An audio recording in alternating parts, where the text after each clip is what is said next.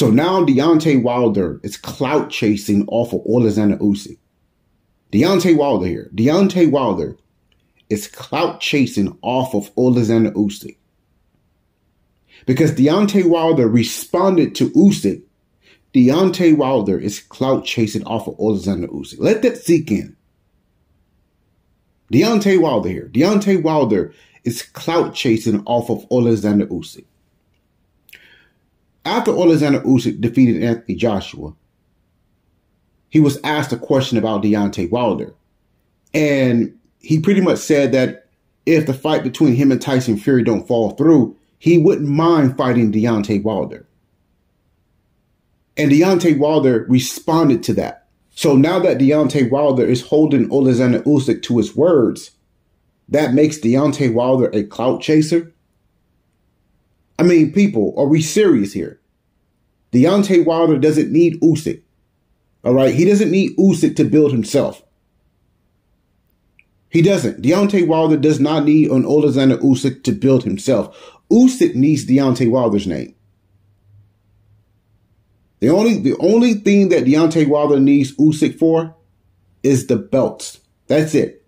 Usyk name Deontay Wilder does not need. And I understand with this whole global talk. I understand what you guys are doing. All right. If if black American fighters wasn't the face of American boxing, then we wouldn't hear this nonsense about fighters being global. Okay? Because in case you guys haven't forgotten, America is the mecca of boxing. And it's going to remain that way. How can the mecca of boxing not be global? That doesn't make any sense at all. All these fighters from around the world wants to come to America and they want and they want to come to America for a reason. All these foreign fighters, they make their names in America. Okay? I don't think you guys heard me. All these foreign fighters that come to America, they make their names in America. If these fighters were global, right? If the Usyks, the Lomachenkos, the Golovkins, if they were global fighters, then there would be no need for them to come to America. If these fighters were stars, then American fighters will be traveling to fight these fighters in their own home. You see, you guys need to understand a person with star power. Floyd Mayweather, for an example, he's fighting in Japan. There's no need for him to drag a Japanese person to America and fight in Las Vegas. He's going over there to Japan and fighting YouTubers. Right? YouTubers. That just goes to show you the star power that Floyd Mayweather has. Floyd Mayweather is a global star. Floyd Mayweather can go anywhere else from around the world and establish a boxing home. Floyd Mayweather can go to the poorest country in the world and establish a boxing home there. That's the true meaning of a global star. Floyd Mayweather is a global star. So if the Usyks, the Golovkins, the Lomachenkos, if they were global stars, then boxing will follow them wherever they go. It will be no need for them to come to America. These guys, they have their own homes. Hell, these Russian fighters that get praised a lot from American fans, why don't they establish a boxing home in Russia?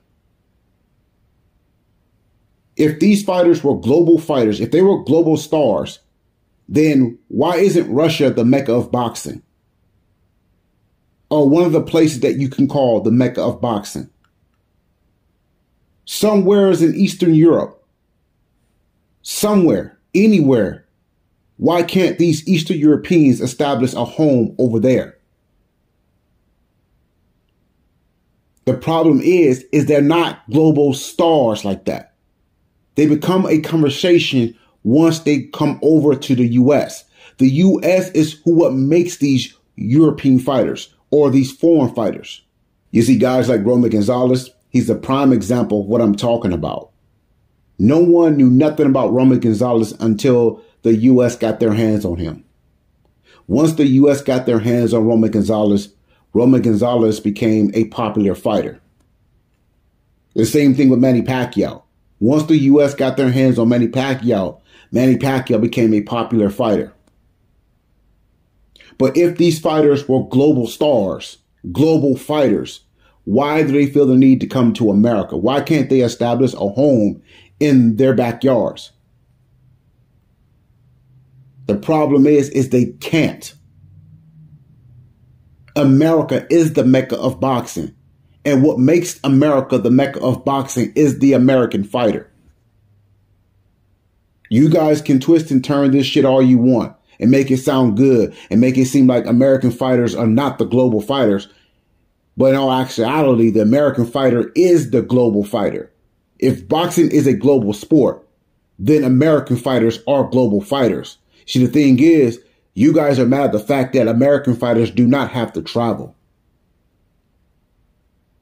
Every other fighter from around the world wants to come to America. So why should the American fighter have to travel when all the other fighters wants to come to America? And so when it comes to Deontay Wilder and Alexander Usyk, Alexander Usyk needs Wilder more than Wilder needs Usyk. If Usyk wants to become a global star, then he needs Deontay Wilder. Wilder doesn't need Usyk. Okay? Well, Wilder needs Usyk for the titles, but he doesn't need Usyk for his name. Usyk needs Deontay Wilder for his name.